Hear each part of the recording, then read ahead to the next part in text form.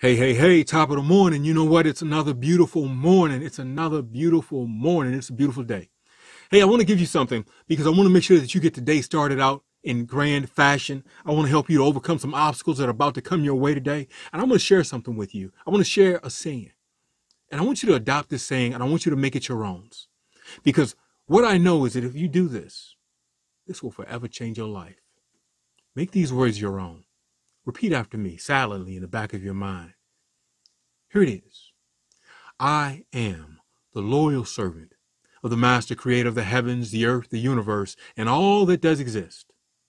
Of all that is created, I am.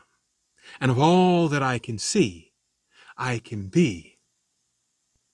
Because I am is the creator of me. Mm. Wow. I am is the creator of me and you and all that we can see, all that does exist. We're all in this together. I don't know why people forget that. Actually, I don't know why they don't teach that. That we're all in this together. Utilize that saying. Make it your own for the next 30, 45, 90 days if you can. Every day. When you start to get frustrated, stop, breathe, pause.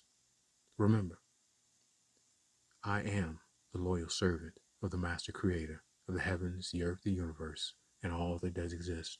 Of all that is created, I am. And of all that I can see, I can be. Because I am is the creator of me.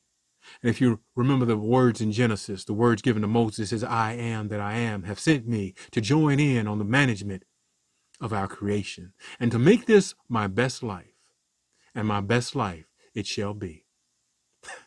Until next time, folks.